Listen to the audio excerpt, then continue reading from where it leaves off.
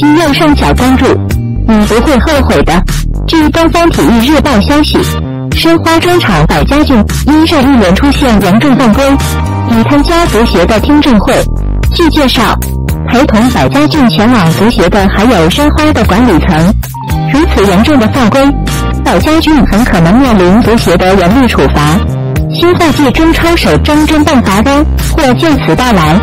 此前，申花官方已对百家俊进行了内部处罚，罚款三十万元，并下放预备队。